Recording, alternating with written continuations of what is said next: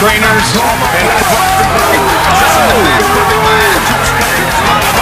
looking to finish it by submission. know if he wants to finish him. But he's gonna turn. The ground game, if he was going to be a true Better. And you're seeing right now the fruits of his labor.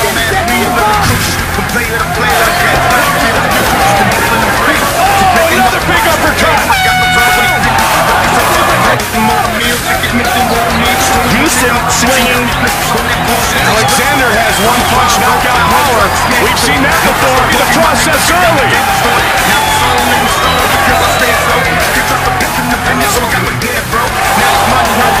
through those muscles right now. We'll probably be seeing a third round with these guys.